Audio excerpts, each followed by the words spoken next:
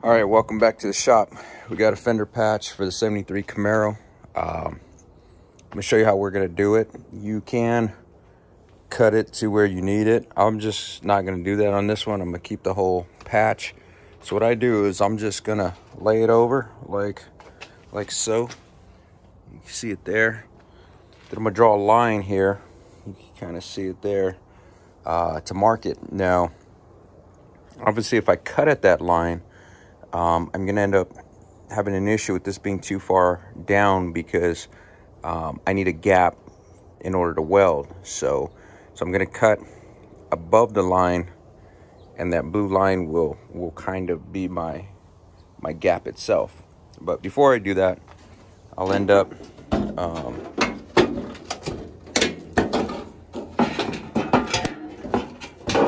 just take this off. Before I do that, I'll get my plasma and just cut somewhere like here. So that way when I do lay it over, um, it folds the way it's supposed to be down here. But I can um, rivet it in and then make my final cut and then weld as I go. So that's how, that's how we're gonna do this one.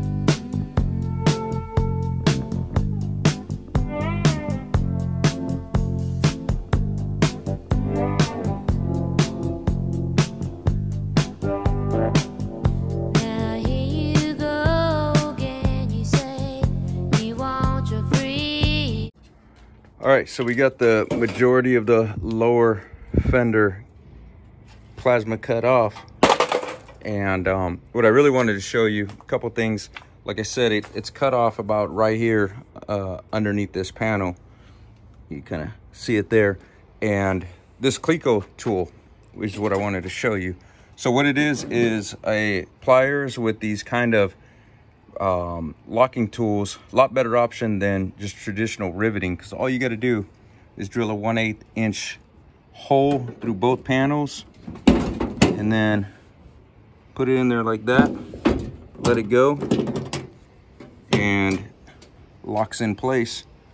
And then to take it off, same thing. You just comes right out. You could kind of see it's got like a like a prong in there and it just grip, grips it and then brings the panel to the surface, um, holds it in place. So just makes holding things together super easy.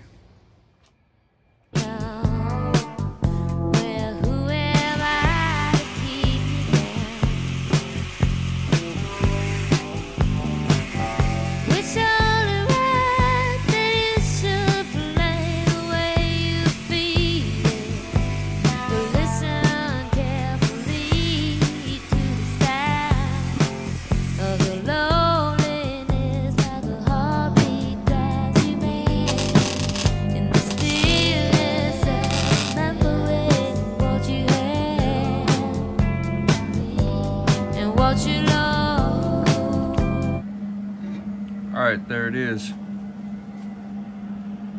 Just tacked in place. Um, you know what I think I'm gonna do is I think I'm gonna leave this uh, underpiece that that is actually cut out uh, ready to fall off. I think I might just weld it um, to give support to the fender. Um, you could see it's it's not causing a lip at all because it's dropped. But um, it might give some extra structural support because you can see it's got this bracket here